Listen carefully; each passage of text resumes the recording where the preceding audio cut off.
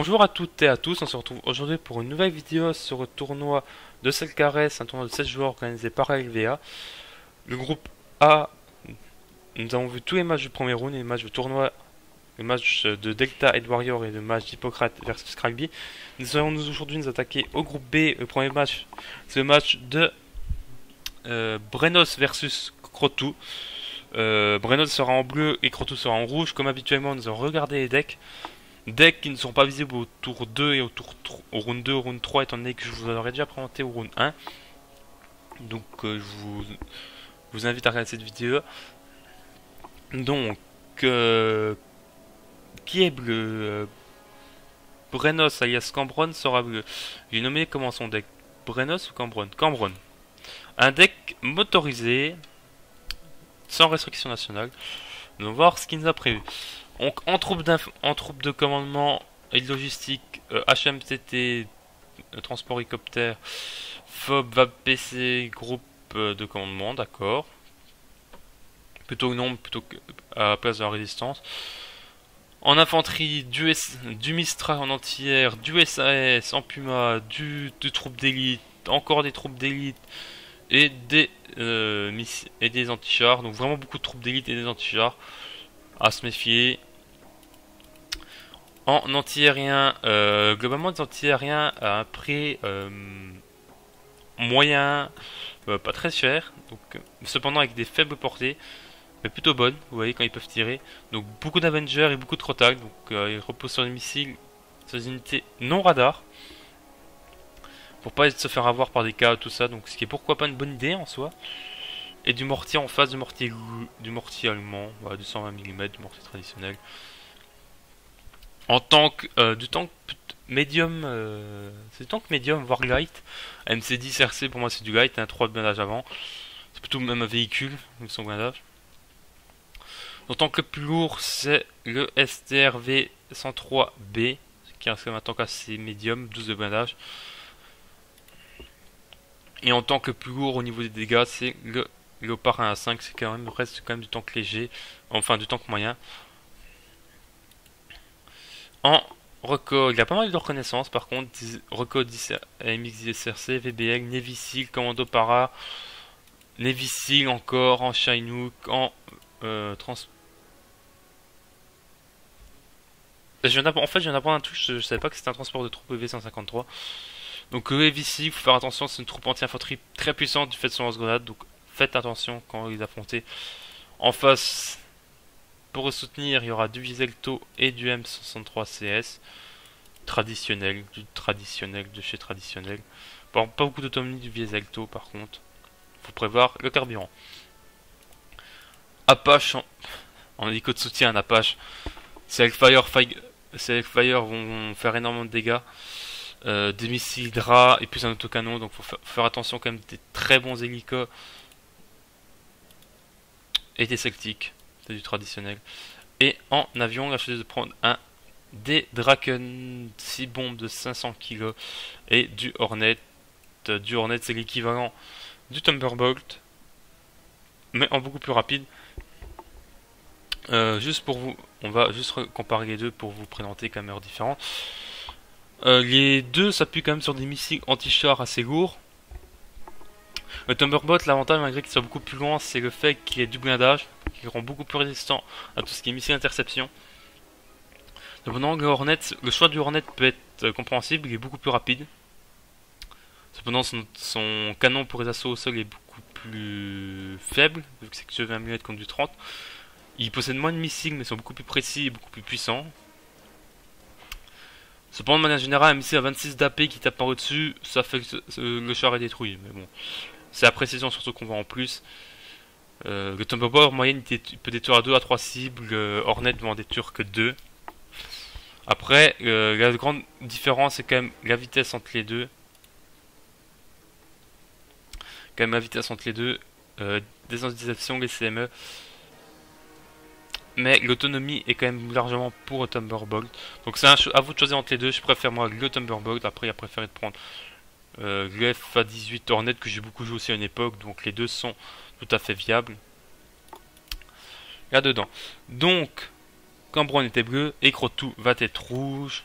Crotou, Crotou, Red, Crotou, Red Dragon, ça c'est à moi. Crotou qui va aussi jouer un deck russe, généralement les gens jouent russe quand ils... dans les decks. En commandant, donc deux scots de commandant blindés, l'une armée lieutenant, beaucoup d'ourags pour ravitaillement et des phobes. En troupe concours, c'est du traditionnel du VDV en transport d'hélico, du Monosk Morskaya Pekoshna 80 euh, standard et 90. Euh, à rigueur, pourquoi pas, ouais, pour avoir un peu plus d'un. Et... Monoto serait qui en complément. Entière Pirussia, euh, Tungusta et entière vraiment light, vraiment peu cher. Durak Zedu 23U. Euh, pourquoi pas Vraiment pourquoi pas, ça coûte que 15, ça donne un, un bon petit complément. Une artillerie lourde du euh, 2S19 ou du 25-19, pour moi c'est du... je sais pas quand moi j'ai des doutes sur les noms. Et du Dona. Donc à se méfier, à se méfier. Niveau du tank, il a du tank lourd, vraiment lourd, du T112BU. Euh, qui a choisi de prendre vétéran, d'accord, il n'y en aura qu'un seul. D104BV qui a pris en endurci. T104M qui a pris aussi en endurci. Hop. Non, qu'ils apprennent à entraîner, excusez-moi.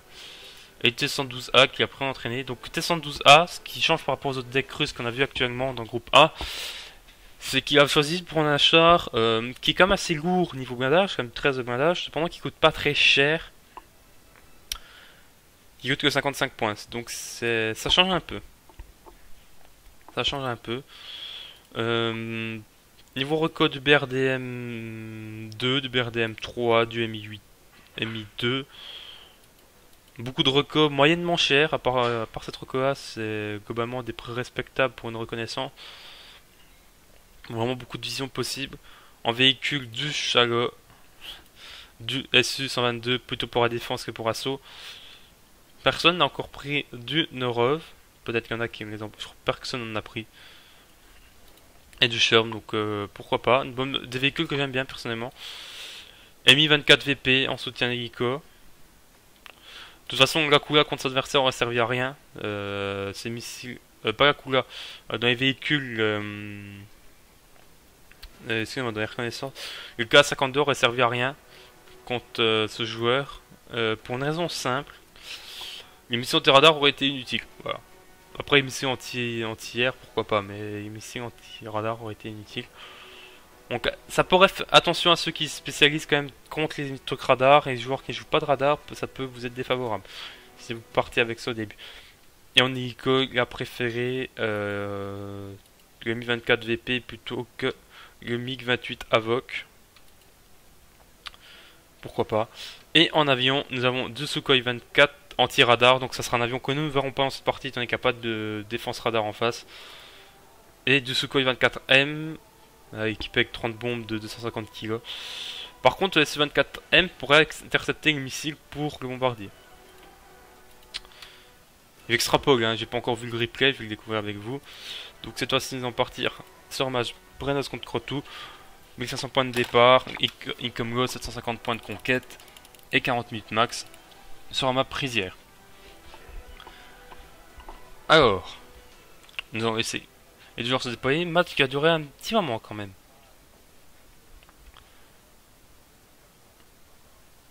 Je pense qu'en moyenne ça pourrait 3 minutes de déploiement euh, de manière générale, donc à force on s'y habitue. 4 minutes. Ouais, on va pas aller plus loin.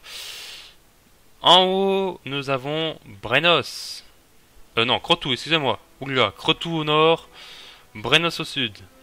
Crotou, alors.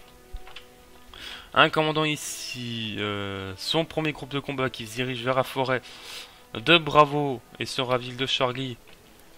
Reconnaissance Mi-8, Mi-8 TV, euh, beaucoup d'infanterie, quelques véhicules, des véhicules de soutien, des chalots, des SU-122, des Berussia T-112A. Euh, une reconnaissance qui va sûrement aller derrière pour voir s'il pourrait le contourner. Un BRDM 2U, un BRDM 3 pour aussi en reconnaissance sur le côté gauche. Son groupe central qui va sûrement aller euh, soit dans la forêt ici de Golf, sur Bravo, je ne sais pas encore, on verra bien. BTR 110, T112A, Chalot, BTR 110, MTV, Biroussia, d'accord. Son groupe de droite avec un commandant. Non, pas de commandant, excusez-moi, j'ai dit une connerie. T64BM, T64BM, donc plutôt toujours avec une Tungusta vraiment très lourd, ce qui me prévoit derrière. 3 T64M avec du, euh, deux reconnaissances, euh, trois reconnaissances de Berdem nu, une Berdem 3 et un MT Faut faire attention, il part vraiment sur beaucoup de lourd. Brenos, celui qui va poser son commandant d'infanterie, du fait que c'est normal qu'il prenne un point de retard au point. Euh, un VBL qui va partir à droite. S'il voulait vraiment appeler à droite, j'aurais conseillé d'attendre directement l'appeler au début de partie. Ça aurait... Il aurait gagné quelques petites secondes. Alors ici, des reconnaissances V150. Euh... La logistique, je crois que c'est ça. Je sais pas. Euh, DDCA Mistral et euh, je sais pas ce qu'il y a dans ce transporteur là. D'accord, les amphibies ici, c'est des unités ATGM, d'accord. Enfin, amphibie, amphibie Vabreco ici, Vieselto, Léopard 1 à 5, Léopard 1 à 5, Almixis RC, Avenger, Zan 0, quelques Pumas, d'accord. Pas de commandant. Euh, aucun de joueurs a décidé de partir sur un commandant excédentaire. Ce groupe-là, allait bien ici. Euh, Crotou a déjà débarqué. Les chalots prennent de flanc. Excellent. Ont pris de flanc son armée. Ça se voit qu'il veut vraiment se donner à fond pour prendre ce bois de golf. Ce qui est une excellente idée. Parce que s'il le prend, il pourra magnifiquement contester golf. Il a perdu tous ses transporteurs. Il a perdu une partie de ses VSK. Il laisse ces chalots là pour harceler quand même l'ennemi et l'obliger à faire des contournements. Et VSK, ah si, il y a un transporteur qui a échappé, mais vraiment endommagé. Et qui peut prendre, il peut prendre l'initiative, il fait des tanks. Ces tanks ici avec des ATGM font un masse sac sur ses troupes. Qu'est-ce qui a sauté là derrière? Qu'est-ce qui a sauté là derrière? Sa DC a sauté, donc s'il a prévu de l'aviation au cas où, faut s'en méfier. Ici, des plutôt il essaye d'encercler entièrement Alpha. Il pose ses, troupes ici. Faut faire attention à ce qu'il pourrait avoir là, ce qu'il pourrait flanquer l'adversaire. Ces tanks contournent là, par là, le bois va sûrement pas être pris. Il a perdu un tank à cause des Viselto. Faut faire attention, faut faire vraiment attention. Il est en train de... Crotou est en train de subir de lourds dégâts.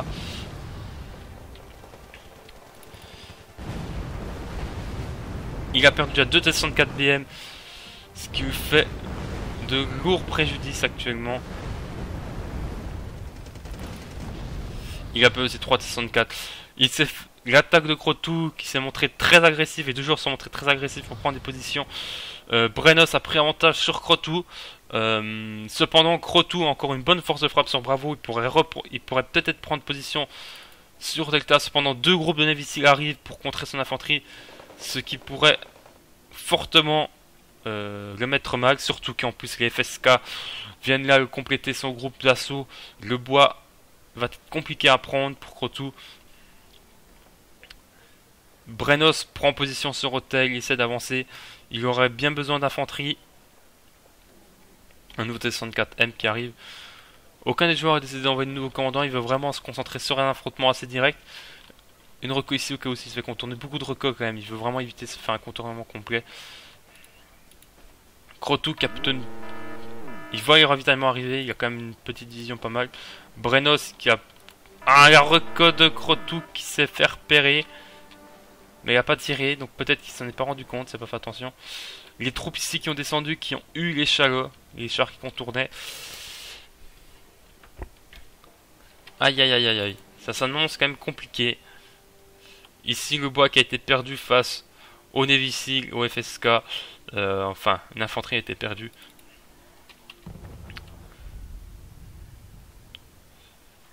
Cependant, rien n'est fini.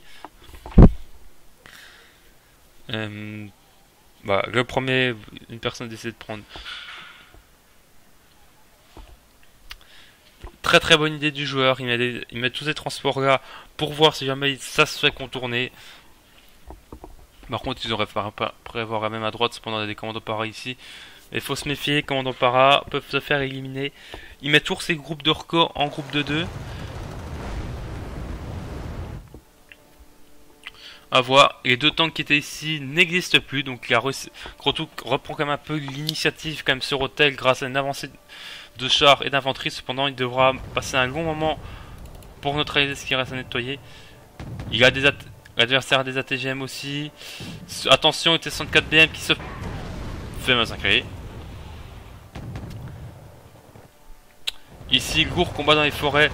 Les mortiers en soutien. Enfin, l'artillerie en soutien. Euh, l'artillerie qui tombe un petit peu long.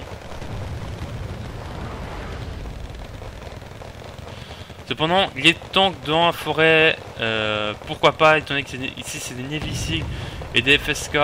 Les FSK euh, doivent garder euh, les missiles en vue tout le long pendant la, durée du tir pour qu'ils puissent toucher beaucoup de dégâts, beaucoup d'explosions. Une reco ici qui saute. Enfin, un VAB en tout cas qui saute, peut-être une reco, je pense. Les Nona qui font un bombardement magnifique, cependant les transports adverses font avec leurs 12-7 massacres le reste de leur infanterie et décident de ravitailler. Le commandant qui est ici de Crotou qui a quand même repris ce commandant là, il va bientôt prendre l'hôtel. Il est un peu en retard, mais Crotou est toujours dans la partie du fait la manière dont ça s'annonce. Euh, ce qui va être dur pour Crotou, autant le bois, je pense qu'il peut largement reprendre sur Bravo. Ce qui va être dur, ce sera surtout de reprendre toutes ses alliés et de le déloger adversaire de cette position. On verra bien ce qui est prévu.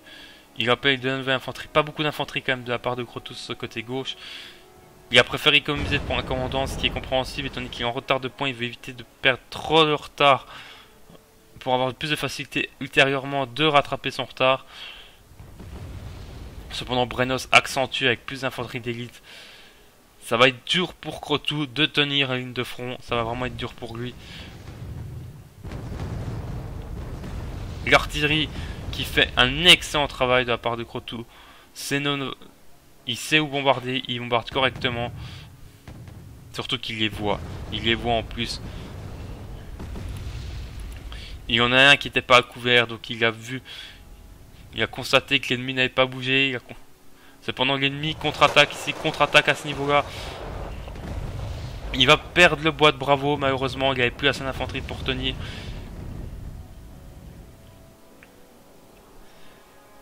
Toute l'infanterie d'élite que possède euh, Dremos commence à payer, il commence vraiment à faire une percée.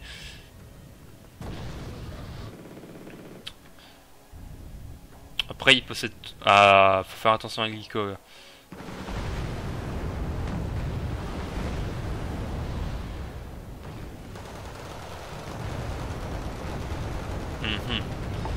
beaucoup de dégâts quand même, de, faut se méfier, il, subit quand même énormément de pertes.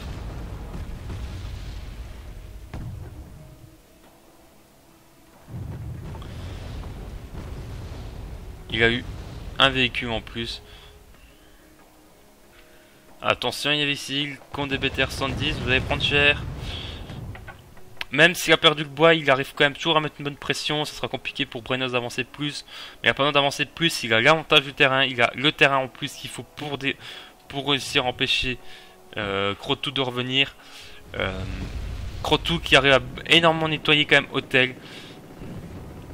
Et qui voit, surtout il voit où est l'adversaire, il sait où est l'adversaire. Cependant, il y a deux léopards à gauche là maintenant qui, viennent, qui sont arrivés en complément pour soutenir Bravo. Et il aidé à nettoyer. À droite, il peut reprendre l'initiative. S'il arriverait à percer, il n'y a pas beaucoup, pas grand chose sur Golf. Il pourrait percer, voire même peut-être lancer une percée héroïque jusqu'à Echo, étant donné que les défenses sur le flanc droit reposent uniquement sur Golf. Et Léopard, il sort euh, Olivier Delto. S'il fait sauter cette défense STRV euh, 103B, Golf tombera et Echo pourrait bien tomber derrière étant donné le peu d'infanterie qu'il a. Donc faites, faisons attention. Euh, Brenos continue à mettre la pression. Euh, ses ATGM ne touchent pas beaucoup Crotou. Il, est malchanceux sur la majorité de ses ATGM. On a constaté depuis le début. Bombardement massif pour nettoyer le bois. Magnifique bombardement. Euh, euh, nettoyer la ville. Bombardement qui a fait énormément de dégâts. Cependant, il est trop tard. Il a réussi à avancer. Et il commence à prendre le bois de Charlie. Crotou qui est dans une situation bien compliquée. Et qui, malheureusement, l'ennemi est en train de renforcer ici. Au cas où si jamais il perdra sa ligne de France sur il y aurait quand même des troupes pour tenir derrière, pour soutenir son commandant à rigueur sur Golf. Oui, Berden 3 ne peut pas au-dessus.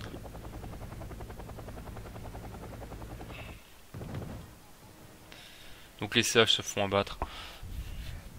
Et voilà, l'avancée est partout, le Crotou est dans une situation euh, compliquée. Euh, les deux joueurs ont un très très bon niveau. Ça combat vraiment euh, difficile, ça combat vraiment au maximum de ce qu'ils peuvent. Chacun essayant de se donner un avantage. Cependant, Crotou, depuis la défaite initiale, a vraiment du mal à reprendre du terrain. C'est Brenos qui mène la danse. Et qui avance, avance, avance il décide d'enfumer. Un une offensive massive est prévue, ça se voit. Ça se voit qu'il veut lancer l'offensive pour tenter de reprendre entièrement le flanc. Il a besoin de plus de fumigènes. Il va continuer à envoyer des fumigènes. Il veut un barrage de fumigènes. Les tanks adverses tirent. Les fumigènes bloquent les lignes de vue. Les tanks peuvent avancer. Les Viselto, la Viselto se fait bombarder. Le bombardement est excellent.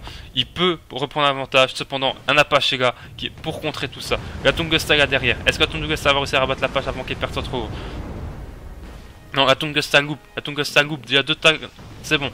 Que de tanks de perdu. Cependant, c'est quand même toujours deux tanks de perdu. Les pertes sont assez massifs. Mais vraiment un excellent mouvement de la part de Crotou qui tente le tout pour eux tout. Il sait que l'ennemi est en avantage sur lui. Il sait qu'il qu aura des difficultés pour reprendre l'initiative. Cependant, il utilise énormément ses avions.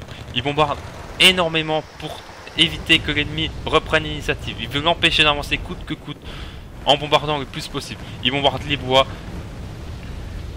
Magnifique bombardement d'ailleurs ici. Il reprend le terrain sur Oteg. Il, préfère envoyer de l'infanterie pour être sûr qu'il ne reste rien à affronter. Il envoie des piochemelles sur le côté droit. Cependant, son commandant a de se replier légèrement ici.